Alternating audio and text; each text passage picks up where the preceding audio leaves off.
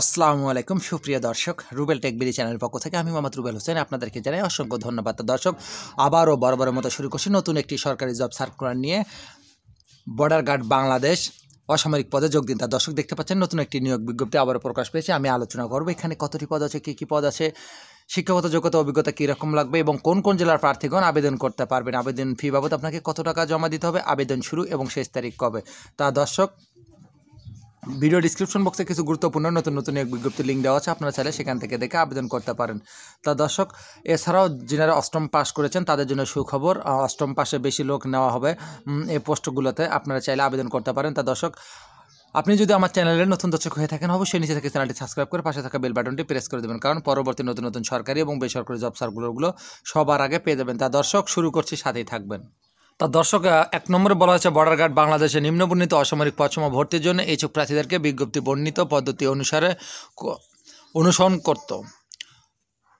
Teletalk prepaid mobile হতে S M এর প্রেরণের মাধ্যমে রেজিস্ট্রেশন করতে আহ্বান করা যাচ্ছে। তা দর্শক, আশা করি বুঝতে পারছেন, সকল জেলা এই পোস্টগুলোতে আবেদন করতে পারবেন। আপনাদের জন্য একটি বিরাট সুখবর। তা দর্শক, আমি এখন সম্পূর্ণ বিস্তারিত নিয়ে আলোচনা করব। সাথেই থাকবেন। ওবিএম ড্রাইভার পুরুষ, এ পদের লোক সংখ্যা হবে আটজন আপনার প্রাতিষ্ঠানিক এসএসসি সমমান পাস হতে হবে। আপনার ডেক কর্মী প্রশিক্ষণ কেন্দ্র সোনাকান্দা, নারায়ণগঞ্জ, ডাক ওয়ার্ড খুলনা হতে প্রশিক্ষণ সনদপত্র থাকতে হবে। এছাড়া যে কোনো প্রতিষ্ঠান, কোম্পানি হতে স্পিড বোট চালানোর এবং ইঞ্জিন মেরামত ও রক্ষণাবেক্ষণের ওপর দুই বছরের বাস্তব অভিজ্ঞতা সনদপত্র থাকতে হবে। দর্শক, বেতন স্কেল হচ্ছে জাতীয় বেতন স্কেল দুই হাজার পনেরো অনুযায়ী নয় হাজার টাকা থেকে একুশ হাজার আটশো টাকা। তৎসহ বাড়ি ভাড়া ও বিধি মোতাবেক প্রাপ্য অনন্য সুবিধা দেওয়া হবে। দর্শক, এই পোস্টটিতে সকল জেলা আবেদন করতে পারবেন। তা দর্শক, সাথেই থাকবেন।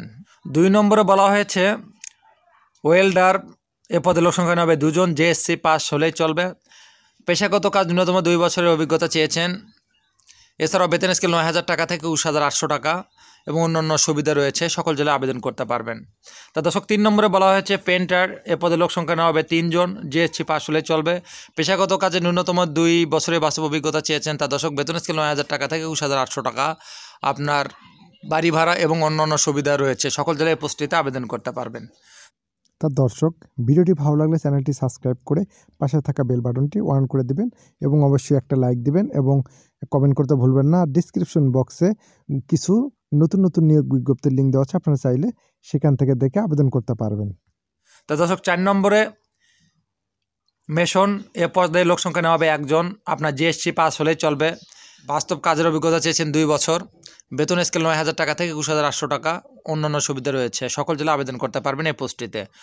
ভলকানাই যার এ পদে লোক সংখ্যা নেওয়া হবে একজন। জেএসসি পাস হলেই চলবে। পেশাগত কাজে ন্যূনতম দুই বছরের অভিজ্ঞতা চেয়েছেন। আপনার বেতন স্কেল আট হাজার আটশো টাকা থেকে একুশ হাজার তিনশো দশ টাকা। অন্যান্য সুবিধাদি রয়েছে। ছয় নম্বরে, বাবুর্চি এ পদের লোক সংখ্যা নেওয়া হবে পাঁচজন। এটি মহিলা নেবে, মহিলা বাবুর্চি। জিএসসি সমান পাশ হলে চলবে, হোটেল প্রতিষ্ঠানের রান্নার কাজে এক বছরের অভিজ্ঞতা চেয়েছেন। তাছাড়া মহিলাদের অভিজ্ঞতা তো আগে থেকে আছেই। তা দর্শক, জাতীয় বেতন স্কেল আট হাজার পঞ্চাশ টাকা থেকে বিশ হাজার দশ টাকা। বাড়ি ভাড়া এবং বিধি মোতাবেক প্রাপ্য অন্যান্য সুবিধাদি রয়েছে। তা দর্শক, আশা করি বুঝতে পারছেন, সকল দলের পোস্টটিতে আবেদন করতে পারবেন। তা দর্শক, আমি এখন আলোচনা করব শারীরিক যোগ্যতা কীরকম লাগবে। পুরুষ প্রার্থীর ক্ষেত্রে ন্যূনতম এক পয়েন্ট পাঁচশো চব্বিশ মিটার, অর্থাৎ পাঁচ ফুট হলেই চলবে। আর মহিলা প্রার্থীদের ক্ষেত্রে ন্যূনতম এক পয়েন্ট চারশো বাইশ মিটার, অর্থাৎ চার ফিট আট ইঞ্চি হলেই চলবে।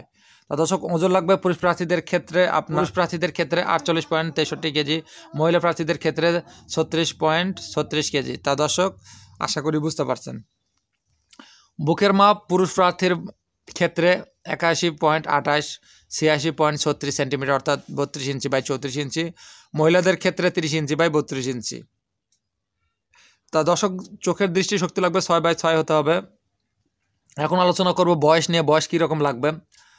অবিবাহিত সাধারণ প্রার্থীর ক্ষেত্রে এক তারিখ সাত মাস দুই হাজার একুশ তারিখের বয়স আঠারো হতে তিরিশ বছর হতে হবে। জন্ম তারিখ দুই তারিখ সাত মাস উনিশশো একানব্বই হতে এক তারিখ সাত মাস দুই হাজার তিনের মধ্যে হতে হবে। বিবাহিত সাধারণ প্রার্থীদের ক্ষেত্রে বিবাহকালীন বয়স পুরুষ ক্ষেত্রে ন্যূনতম পঁচিশ বছর এবং মহিলাদের ক্ষেত্রে ন্যূনতম উনিশ বছর হতে হবে। বিবাহিত তারিখে পুরুষ দুই তারিখ সাত মাস দু হাজার ষোলো, মহিলা দুই তারিখ সাত মাস দুই হাজার দশ তারিখের পর হতে হবে।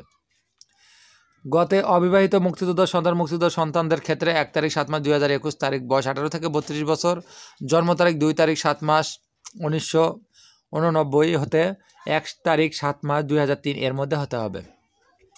বিবাহিত মুক্তিযুদ্ধ সন্তান মুক্তিযুদ্ধ সন্তান সন্তানদের ক্ষেত্রে বিবাহকালীন ন্যূনতম পঁচিশ বছর, মহিলাদের ক্ষেত্রে ন্যূনতম উনিশ বছর।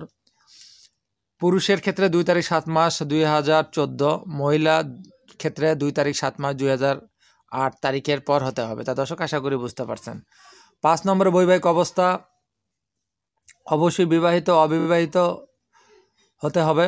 ভর্তির স্থান, তারিখ রেজিস্ট্রেশনকৃত প্রার্থীদেরকে ভর্তির স্থান, তারিখ এস এম এর মাধ্যমে জানানো হবে। রেজিস্ট্রেশন বিজ্ঞপ্তির কর্মিক এক, তিন, চার অনুযায়ী প্রার্থীগণ যে কোনো টেলিটক, মোবাইল ফোন হতে নিম্নবর্ণিত trade code SSC board code home district code উপজেলা নেম ফ্রিডম ফাইটার্স কোড ব্যবহার কর- আগামী তেরোই মার্চ দুই হাজার একুশ তারিখ, দশ ঘটিকা হতে সতেরোই মার্চ দুই হাজার একুশ তারিখ, চব্বিশ ঘটিকা পর্যন্ত ইংরেজিতে এস এম এস প্রেরণের মাধ্যমে রেজিস্ট্রেশন সম্পূর্ণ করতে হবে। তা দর্শক, আশা করি বুঝতে পারছেন। টেড কোড এস এম এস প্রেরণের সময় নিম্নবর্ণিত পদে টেড ও পার্শ্বে উল্লেখিত নির্দিষ্ট কোড ব্যবহার করতে হবে। সেটি হলো নেম অফ দ্য ট্রেড আর হচ্ছে ট্রেড কোড। অ্যাসিস্ট্যান্ট ও এম বি ড্রাইভারের কোড হচ্ছে সিক্স ফাইভ ওয়েল্ডারের কোড হচ্ছে সিক্স সিক্স প্রিন্টারের কোড হচ্ছে সিক্স সেভেন মিশনের কোড হচ্ছে আপনার সিক্স এইট তারপর ভলকাইনাইজারের কোড হচ্ছে সিক্স নাইন তারপর হচ্ছে কুকের কোড হচ্ছে সেভেন জিরো তার দর্শক, আশা করি বুঝতে পারছেন। সময় এসএসসি সমমান এবং এইচএসসি সমমান পাশের নিম্নবর্ণিত বোর্ড কোড ব্যবহার করতে হবে। তো দর্শক, এস এম এস এর মাধ্যমে রেজিস্ট্রেশন করার নিয়মাবলী। সহকারী ওবিএম ড্রাইভার পুরুষ পদে ভর্তি ইচ্ছুক প্রার্থীগণ যে কোনো টেলিটক, প্রিপেড মোবাইল, মেসেজ অপশনে গিয়ে নিম্নলিখিত তথ্যাগুলি ক্যাপিটাল লিটারে টাইপ করতে হবে। ষোলো ত্রিপল টু নম্বরে এস এম এসটি প্রেরণ করতে হবে। যেমন BGB space trade code space SSC board code space SSC roll space passing year space তারপরে হচ্ছে হোম ডিস্ট্রিক্ট কোড স্পেস তারপরে উপজেলা নেম স্পেস তারপরে হচ্ছে ফ্রিডম ফাইটার্স কোড স্পেস তারপরে সিন ষোলো ত্রিপল টু তা দর্শক, আশা করি বুঝতে পারছেন। উদাহরণ নিচে দেওয়া আছে। যোগ্য প্রার্থীর পিন নম্বর প্রাপ্তির পর একশত পঞ্চাশ টাকা। আবেদন ফি প্রদান করতে ইচ্ছুক হলে পুনরায় টেলিটক মোবাইল মেসেজ অপশনে গিয়ে নিম্নবর্ণিত তথ্যগুলি টাইপ করে ষোলো ত্রিপুল টুর নম্বরে এস এম এসটি প্রেরণ করতে হবে। তা দর্শক BGB space ES space pin number space personal counter number any mobile operator তারপরে সিন ষোলো ত্রিপল টু নম্বরে। তা দর্শক, উদাহরণ দেওয়া হচ্ছে, একটু দেখে নেবেন। আশা করি বুঝতে পারছেন। দ্বিতীয় এস এম এস প্রাপ্তির প্রার্থীকে রেজিস্ট্রেশন নম্বর একটি confirmation S M S Teletalk প্রার্থী নিজস্ব মোবাইলে প্রেরণ করা হবে। সহকারী ওবিএম ড্রাইভার পুরুষ এবং হুইলডার পুরুষ পেন্টার পুরুষ মেশন পুরুষ এবং ভালকানাইজার পুরুষ এবং বাবুর্চি মহিলা পদে আবেদনকারী প্রার্থীদের ভর্তি পরীক্ষার রেজিস্ট্রেশন নম্বর হারিয়ে ভুলে গেলে পুনরায় পাওয়ার জন্য নিম্নবর্ণিত তথ্যগুলি টাইপ করতে হবে ক্যাপিটাল লিটারে টাইপ করে টেলিটক প্রিপেড মোবাইল হতে ষোলো ত্রিপল টু নম্বরে এস এম এস প্রেরণ করতে হবে। তা দর্শক, উদাহরণ দেওয়া হচ্ছে উদাহরণে বলা হয়েছে বিজিবি লিখে স্পেস দিয়ে help space pin space pin number scene ষোলো ত্রিপল টু তাহলে আপনার পিনটি পুনরুদ্ধার করতে পারবেন। তো দর্শক, ভর্তির সময় অবশ্যই যার সঙ্গে আনতে হবে। শিক্ষাগত যোগ্যতা সনদপত্র, মূল কপি সত্যায়িত লাগবে। এছাড়া আপনার শিক্ষা প্রতিষ্ঠান প্রধান শিক্ষক অধ্যয়ন, অষ্টম শ্রেণি, এসএসসি এবং মূল প্রশংসাপত্র সত্যায়িত, ছায়ালিপি লাগবে এবং জন্ম তারিখের যে সনদপত্র আছে, আপনার প্রার্থীর স্থায়ী ঠিকানা, জন্ম তারিখ উল্লেখ করতে হবে। তারপর অভিভাবক কর্তৃক প্রার্থীর যে চাকুরি যোগদানের সম্মিলিত সনদপত্র, সেটি লাগবে। বাস্তব অভিজ্ঞতা সনদপত্র মূল কপি সত্যায়িত লাগবে। ইউনিয়ন পরিষদের আপনার নাগরিকত্ব সনদপত্র লাগবে, সদ্য তোলা, নীল ব্যাকগ্রাউন্ড এবং সম্মিলিত ল্যাব প্রিন্ট, এগারো কপি পাসপোর্ট সাইজের ছবি লাগবে। এক কপি ছবি ইউপি চেয়ারম্যান, ওয়ার্ড কমিশনার দ্বারা সত্যায়িত এবং দশ কপি সত্যায়িত ব্যতীত। তা দর্শক, আশা করি বুঝতে পারছেন, এক কপি সত্যায়িত লাগবে। বিবাহিত অবিবাহিত সম্পর্কিত স্থায়ী চেয়ারম্যান কর্তৃক প্রদত্ত সনদপত্র মূল কপি সত্যায়িত লাগবে। তা দর্শক, এই ছিল বিস্তারিত আলোচনা। ভিডিওটি ভালো লাগলে অবশ্যই একটা লাইক দিবেন এবং চ্যানেলটি সাবস্ক্রাইব করে পাশে থাকা বেল বাটনটি প্রেস করে দেবেন। কারণ পরবর্তী সরকারি এবং বেসরকারি জব সার্কুলারগুলো সবার আগে পাওয়ার জন্য দর্শক, আজ এ পর্যন্তই। নিজে ভালো থাকবেন এবং অন্যদেরকে ভালো রাখার চেষ্টা করবেন। আবারও দেখা হবে খুব শীঘ্রই কোনো একটি সরকারি এবং বেসরকারি জব সার্কুলার নিয়ে। আর দর্শক, অবশ্যই শেয়ার করবেন আপনার শেয়ারের মাধ্যমে কোনো ভাই বা বোনের বিজ্ঞপ্তিটি দেখে আবেদন করতে পারে। তো দর্শক, আল্লাহ হাফেজ।